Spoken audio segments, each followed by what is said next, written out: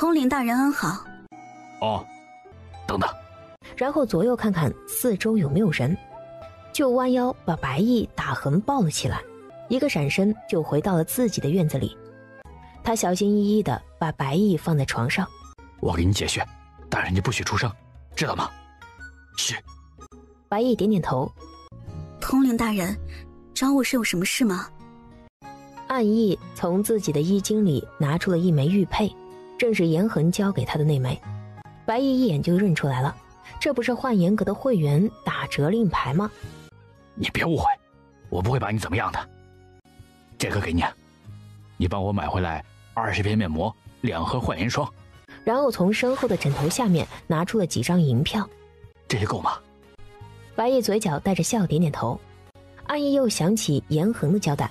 便马上又说道：“这件事谁都不许说，知道吗？如果有人问起来，就说是你自己用的。你买好了以后啊，来我院子找我。如果泄露风声，你就看不见明天的太阳了。”好的，我知道了。我先走了，我还要去王妃的院子里。我带你出去。换班的暗卫直接从大门走了进来，几人相对，大眼瞪小眼的看了半天。大嫂好。统领大人，我就先走了，您先忙。你们太闲了，血量量加五倍。姐，阿姐，不错。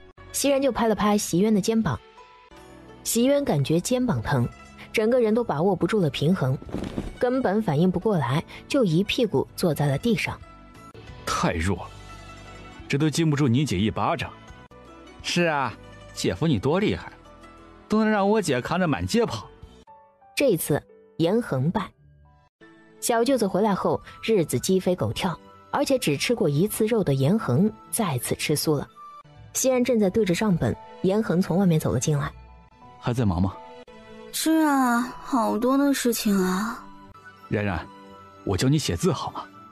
整个人从后面拥抱住了席然，精瘦的手臂握住他的小手。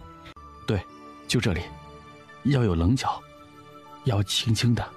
慢慢的，严恒的声音越来越小，眼睛的视线已经不在桌案上的纸了，而是盯着袭然白皙的后脖梗，情不自禁，薄唇就贴在了脖梗上，一阵酥麻袭来。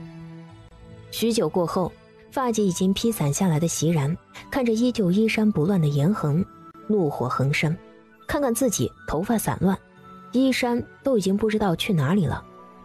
严恒知道自己错了，赶紧帮他穿衣服、整理头发。席然看他的眼神就不对了，这些日子都没有那么什么的，结果这人随身就带着药丸，这是做的准备有多齐全啊！